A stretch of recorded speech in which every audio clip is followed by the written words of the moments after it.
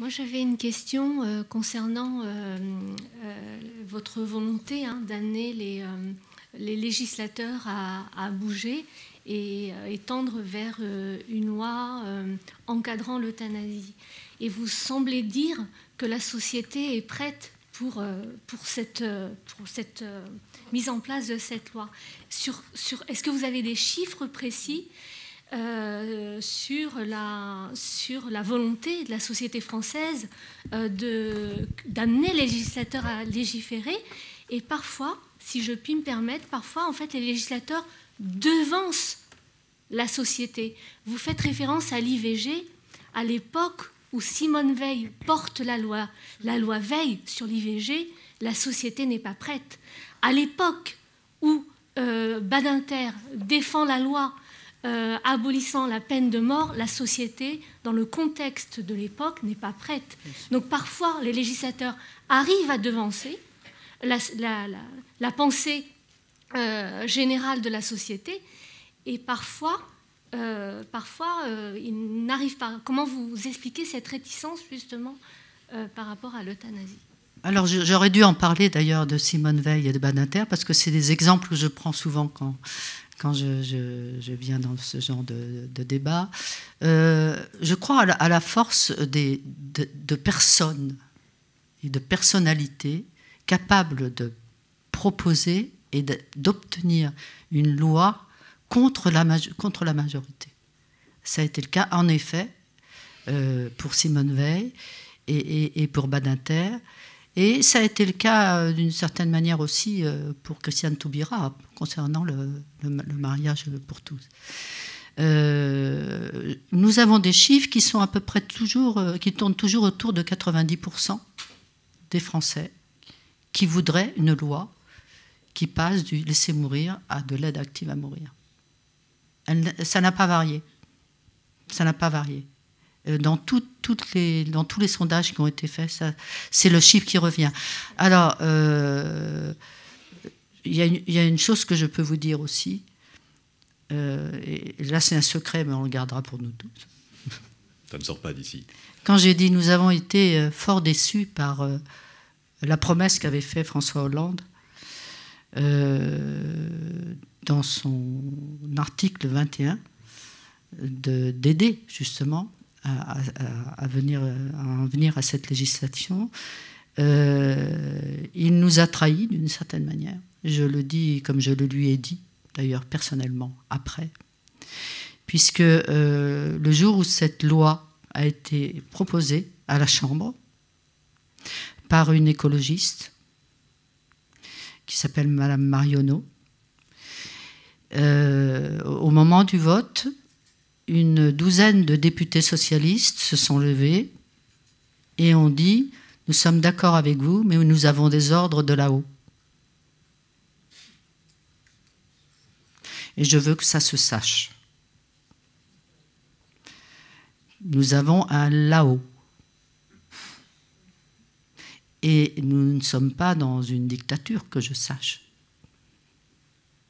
Et ce là-haut, il faudrait. Euh, qu'ils comprennent qu'il est à euh, un autre niveau d'homme et d'humain, et qu'il n'est pas plus haut placé que nous sur des questions, euh, en tout cas des questions sociétales. Voilà, c'est vrai que si la loi est, s'il y a des personnes exemplaires qui nous montrent le chemin, on peut faire bouger en effet des, députés, mais on peut aussi euh, les amener à une forme de lâcheté qui fait que cette loi qui aurait dû passer sous Hollande n'est pas passé. Et qu'il le regrette aujourd'hui.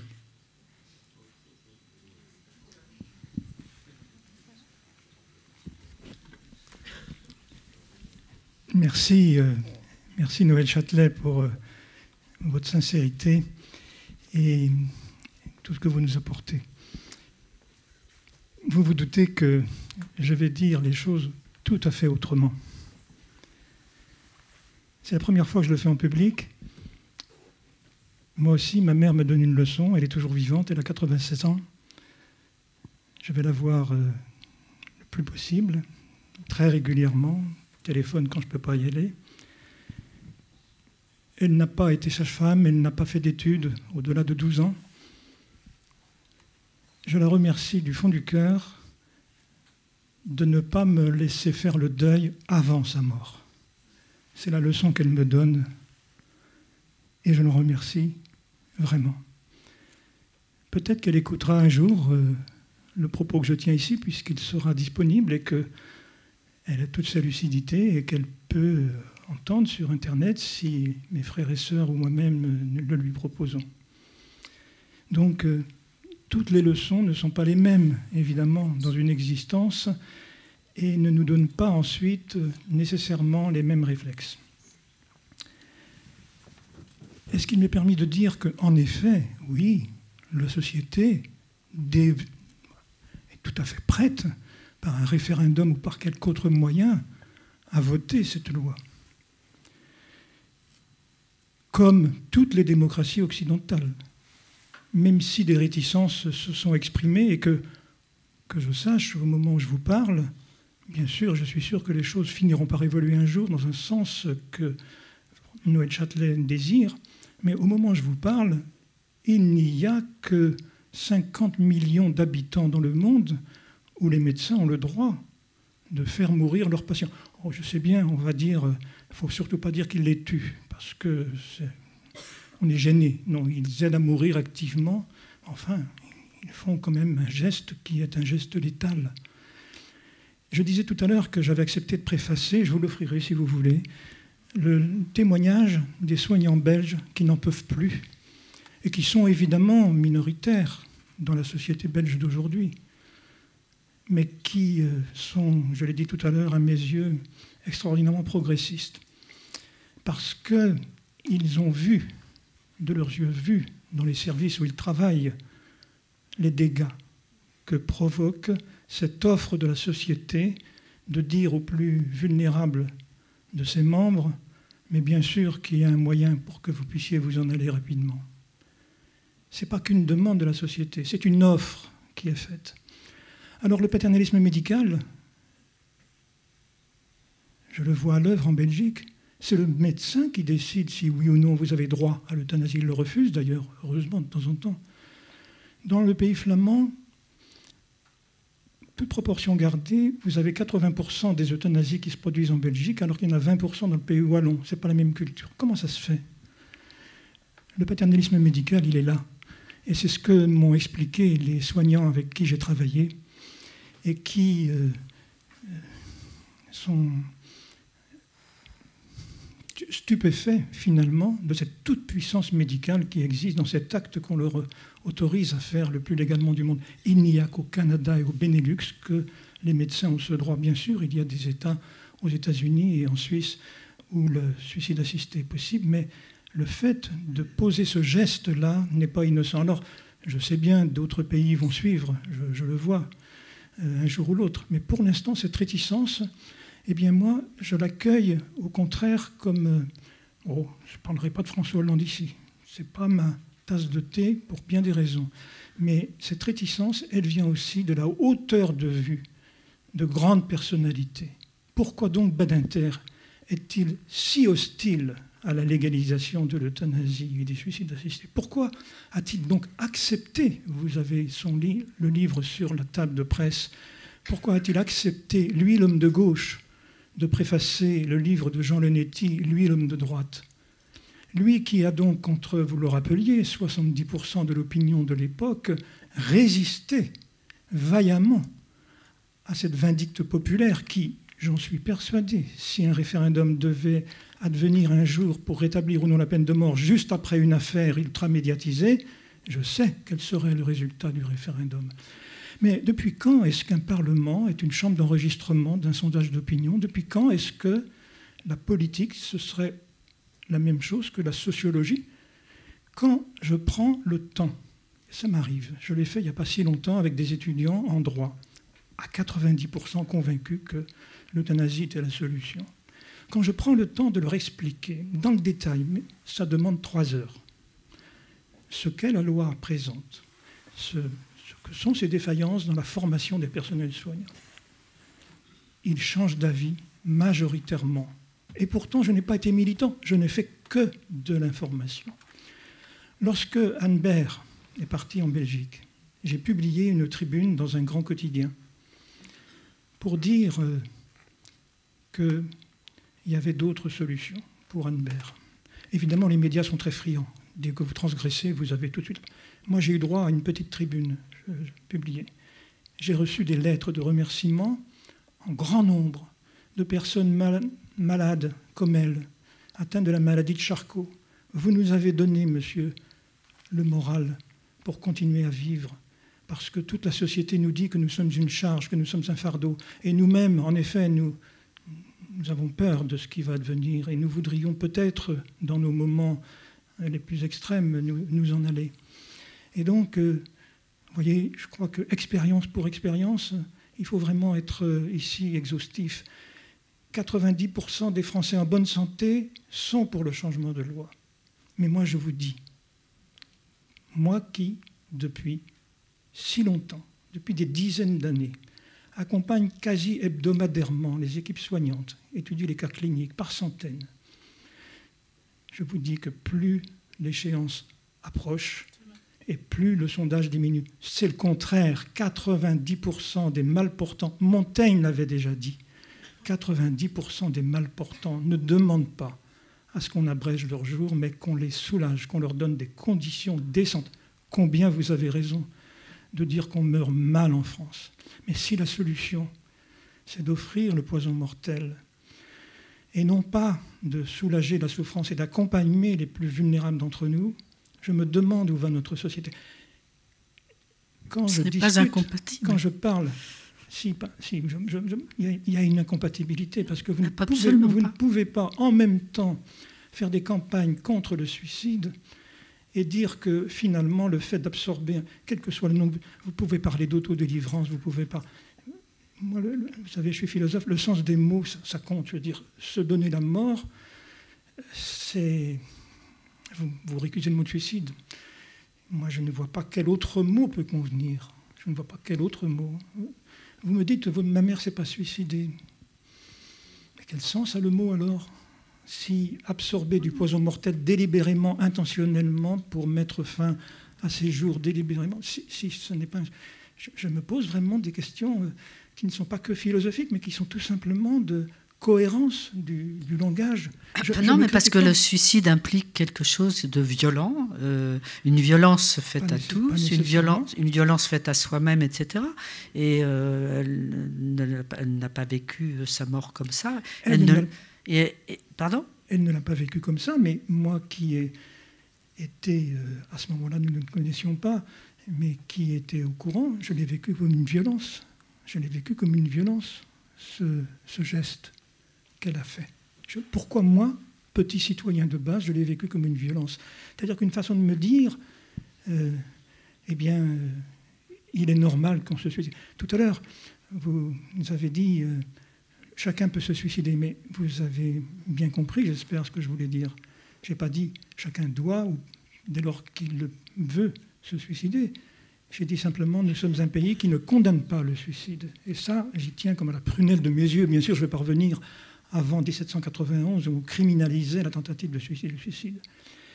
Mais je ne vois pas au nom de quoi le fait de ne pas désapprouver ce qui est mon cas signifierait approuver. Je suis vraiment sur cette ligne-là, sur cette ligne de crête. Et encore une fois, je vous en supplie, pourquoi Robert Badinter est sur cette position, lui aussi, comme moi? Qu'est-ce que nous avons donc ici en commun Qu'est-ce que nous touchons au plus vif quand nous sommes d'accord sur ce plan-là et que nous ne nous laissons pas griser François Hollande, je, pense comme vous, ce n'est pas, pas, un grand homme politique. Mais la proposition 21, figurez-vous, elle a été rédigée par son porte-parole de l'époque, qui n'est autre que le maire de la commune où j'habite, Jean-Marc Ayrault, que je connais un petit peu. Et, oui, Jean-Marc Ayrault, en fin politique, politicien, a rédigé cette proposition 21 en utilisant très habilement la formule mourir dans la dignité, sans jamais évidemment définir ce que voulait dire mourir dans la dignité, en des termes que moi-même j'ai approuvés. Parce que ça n'était pas un engagement, j'en suis sûr et certain, euh, qu'il a proposé ici, c'était une manière très habile de donner raison à tout le monde. Je me souviens que l'ancien président de la SFAP, très hostile à la légalisation de l'euthanasie, Bernard de Valois, en raison de l'expérience qui est la sienne au chevet des mourants, Bernard de Valois avait dit J'approuve complètement cette proposition 21 et j'appelle à voter d'ailleurs pour la liste en question. Ce qui veut dire qu'elle n'avait pas été. Bon, c'est anecdotique ça. Il ne faut pas, je crois, épiloguer là-dessus et nous, recentrer sur l'essentiel. La, tribune que j'avais publiée euh, sur l'affaire euh, Anne je vous l'offrirai aussi. Elle est dans l'annexe de mon dernier livre. Je m'excuse, ce n'est pas commercial ce que je suis en train de dire, mais c'est pour dire que j'ai tenu à faire figurer cette annexe euh, dans le, livre en question. Alors, 90% des biens portants, pour moi, pèsent beaucoup moins lourd que 5 ou 10% des mal portants et des personnes handicapées qui sont très déconcertées par cette idée que leur vie ne vaut rien. Vous voyez bien, puisque cette personne-là s'est suicidée, puisque cette personne-là a dit que sa vie, sa vie devait s'arrêter, eh bien, la mienne aussi devrait s'arrêter. C'est ça mon problème. Y a-t-il d'autres euh, questions? Moi, je voudrais, je, voudrais, intervenir. Je vous en prie, Marie. Oui, c'est pas, c'est pas tant une question. Euh, d'abord, je voudrais dire que je suis évidemment, on ne peut pas être, on ne peut être que très ému par tout ce que euh, Noël Châtenay nous raconte de son expérience. Et je voudrais juste dire quelque chose qui n'a pas été nommé du tout ici, mais qui qui est une préoccupation que je rencontre chez les personnes très âgées euh, que je côtoie euh, régulièrement, qui est la question des dérives. Alors je sais que quand j'emploie le mot, on me dit mais qu'est-ce que c'est que ça? Il n'y a, pas de dérive. Robert Badinter, dont avec qui j'ai parlé de ça euh, il y a 20 ans, me disait, vous savez Marie, si je suis opposée à une loi qui donnerait le droit à un médecin de donner la mort, c'est parce que euh, je sais que la loi est toujours contournée. Et il met François Mitterrand au même moment, parce que la conversation que j'ai eue avec Badinter était au même moment où je parlais avec François Mitterrand, qui était pourtant euh, socialiste et très...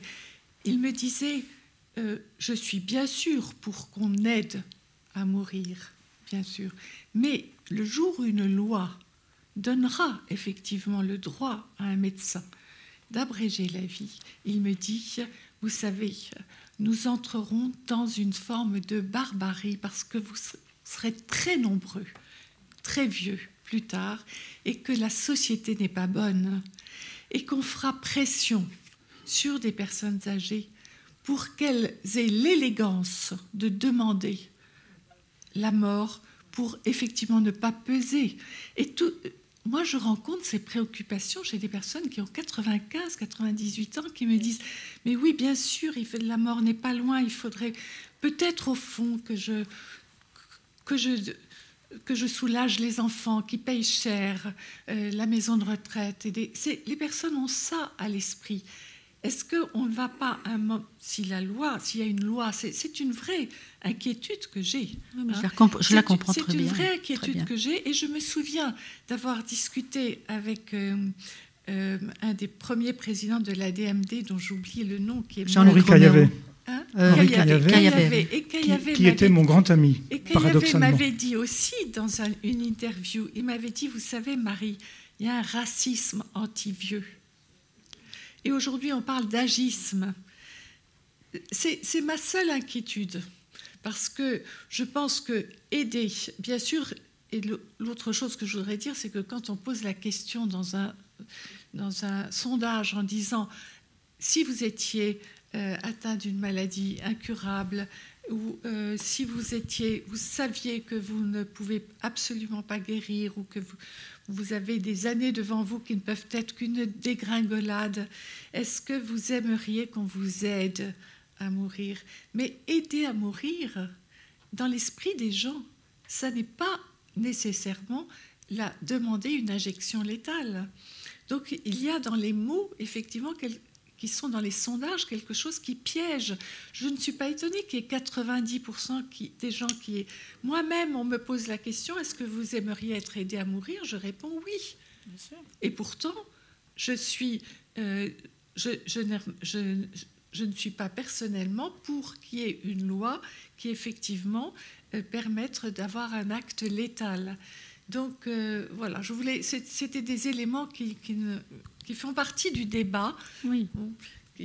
non, non, mais un débat que j'ai aussi encore avec moi-même parce que j'ai accompagné des amis dans la mort et j'ai été très très surprise de, de, les voir se transformer au, au, au fur et à mesure que, que la mort approchait.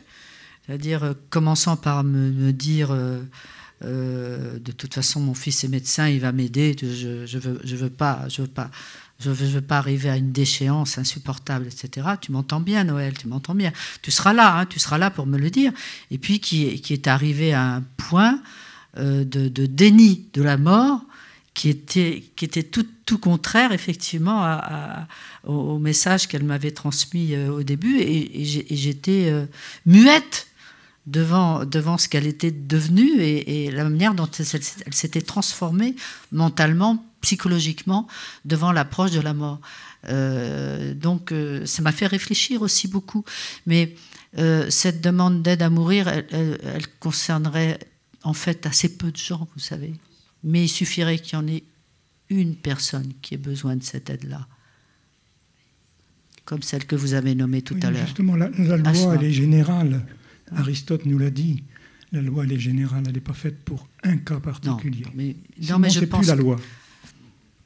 Je pense que ça, donne, ça, ça rassurerait beaucoup. La justice, c'est pour les cas particuliers, mais la loi, elle est pour le cas général. Je crois que oui. vraiment, là, il y a une question de, de, philosophie du droit très importante. Jacques Touchon, une question.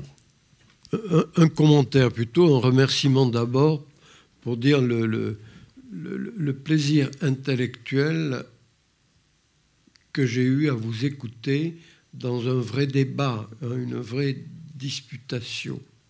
Mais je voudrais, moi, donner deux exemples. Parce qu'alors, quand on est neurologue et qu'on s'occupe de maladies de Charcot, on, est confronté de façon euh, très fréquente à ce type de situation. Mais je voudrais donner deux exemples hors de mon champ professionnel, mais plutôt dans le cadre de mon champ personnel.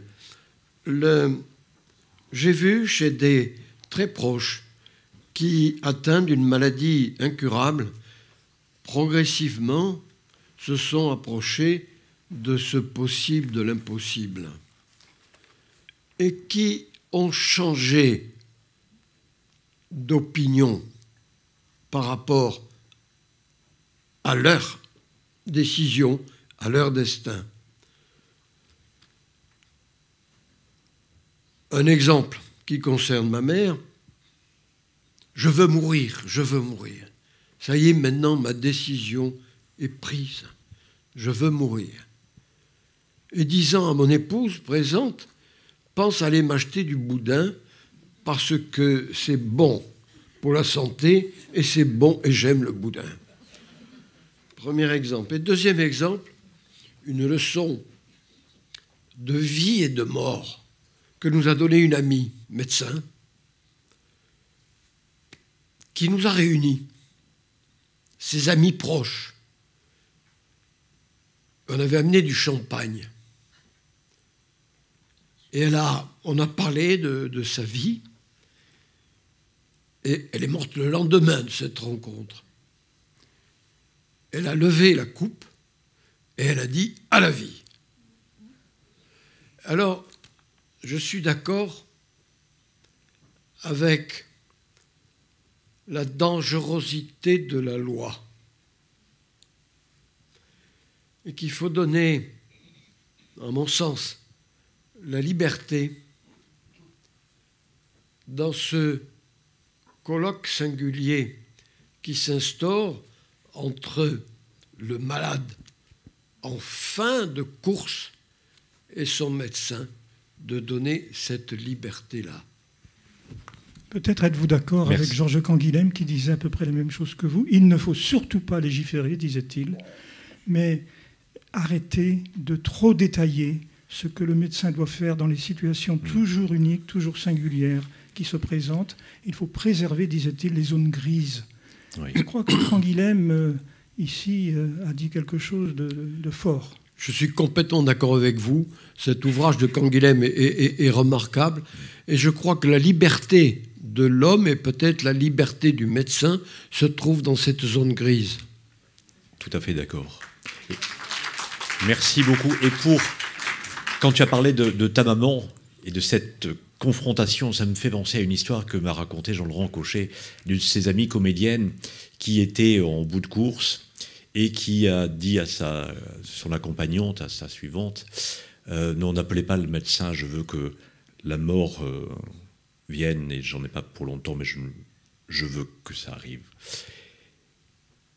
Et elle dit à sa suivante, euh, passez-moi mon ouvrage. la suivante, sidérée, lui dit, mais attendez, vous venez me dire que, vous êtes en train de mourir, et quand même, je vais pas commencer à perdre mon temps. voilà, et elle est décédée quelques temps après.